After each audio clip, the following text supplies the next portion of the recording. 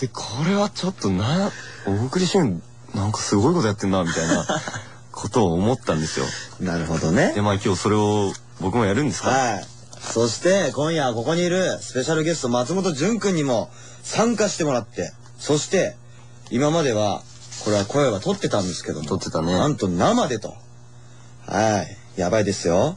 噛めないまず。うんでも俺はこれ収録の時もいつも一度も噛んでませんよ。えなんか撮り直してるって話ですけど。ね。取り直したことある？取り直したことあったみたい。まあ小栗旬君ってど素人ですから。言ったらね。いやだからね、今日この生でお送りするこのドラマがどうなっていくかと。いやー楽しみだね。ちなみに、うん。先週弾いたセリフね。はい。えーやっぱり俺は亜美のことが好きだ。そして白、慰めてくれるのか。そして、すみません、警察のものですが。なるほどね。その3つがそうだったんだ。この3つがね、どんな風に使われ、そしてどっちが喋ったり、誰が喋っているのか。それをね、はあうん。分かってもらいたい。で、そしてここで、まず、あの、ラジオの前の皆さんにももちろんだけども、はい。くんにも前回までどういう風にこの話はなってったかと、最初から。はい。えーバンドでドラマーをやってた、うん。えーシュンという男の子が、お前だけの音がちょっとダメだと言われて、うん。仲間のためにバンドを去り、うん。ふるさとに戻り、うん。そしてそこでダラダラ過ごしている時に、うん。兄と母に背中を押され、うん。そしてまた外に旅に出て、うん。その間に今までやったことを、えー過去の人たちにうん。ちゃんと謝って、それから俺はまた東京に戻ると。なるほど。はい。そして、今東京に戻ってきたっていうところまで話は進んだわけです。おー盛り上がってきたとこだ。はい。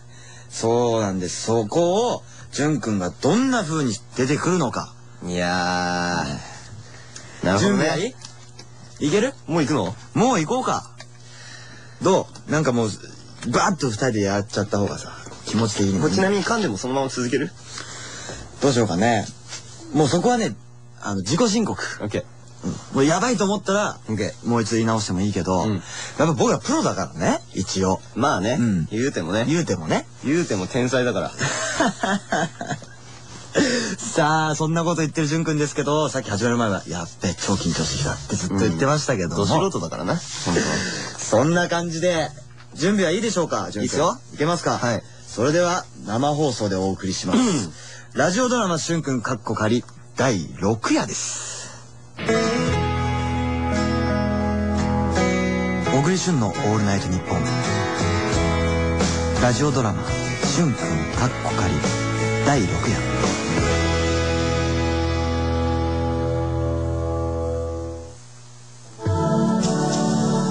バンド活動から抜け自分自身の過去を一つずつ清算してきたシュン。もう迷いはなくなっていた。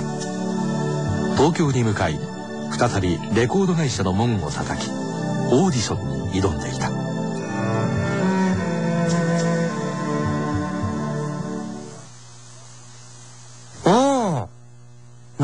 すごく良くなってるな。あなんかこう言ってしまうと申し訳ないけど、今度は逆に君の方が際立ってて、あのバンドに君を入れるのはもったいないかもね。ああもったいないな。いや、実はね、うちで来月デビューが決まってるボーカルがいるんだけど、ソロじゃなくて、急遽バンドにすることになったんだ。デビューは決まってるし、その子のバンドに入ってみない？いや、ちょうどね、今日、そのボーカルの子来てるんだよ。会うだけ会ってみてよ。レコード会社のプロデューサーは一方的に喋りシュンの返事も聞かずどこかへ行ってしまったそしてそれから5分後突然扉が開いた失礼しますあ、どうも。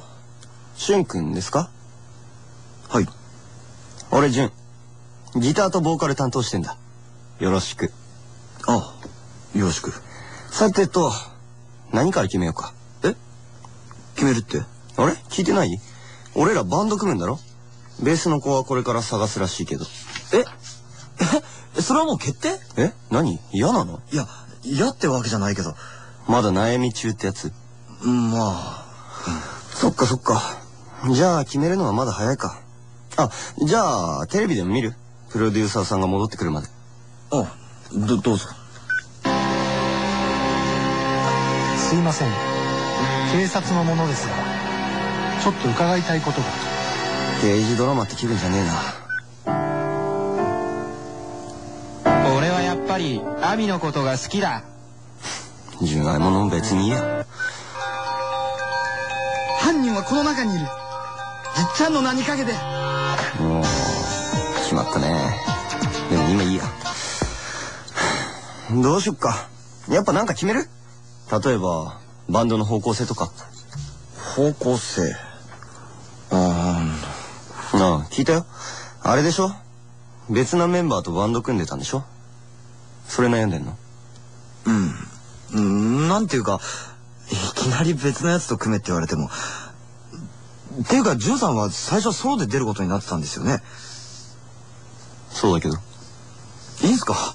バンドになっても。それはいろいろ考えたよいきなりバンドしろとか言われて。でもメジャーで世の中に出たいし。仕方ないだろ。いやでも？いいんだよ。もう自分の中で決めたんだよ。お前こそ人のこと言ってないでどうなんだよ。俺は俺はただ。ただなんだよただ今まで一緒にやってきた仲間と離れたくないだけで一度は俺のドラムがダメだって言われて離れたけどやっぱ離れてみてあいつらと一緒じゃなきゃダメだって思ってデビューするだけじゃなくてあいつらと一緒にデビューしたい。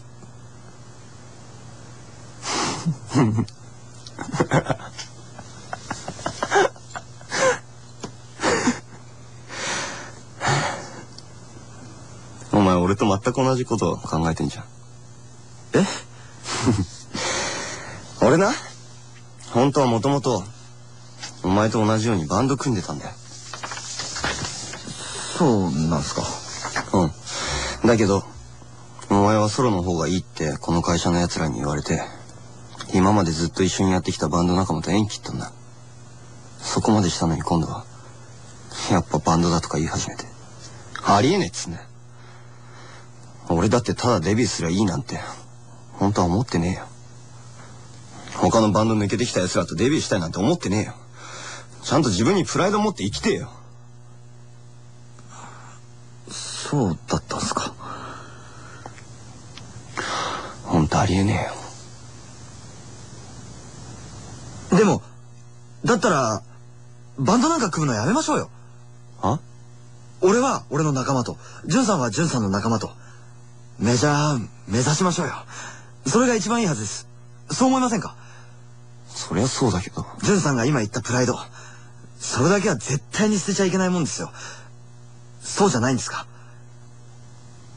うんこんな会社の言うこと、聞く、聞く必要なんかないですよ。一番大事なもの、捨てなきゃいけないぐらいなら。プロになるのが、どんなに遅くなったっていいじゃないですか。俺はそう思います。確かになね。だから、やめましょう。ああだなよしやめよう俺らは今日で解散はいああこれで一生メジャーになれなかったらお前のせいだからな大丈夫っすよ。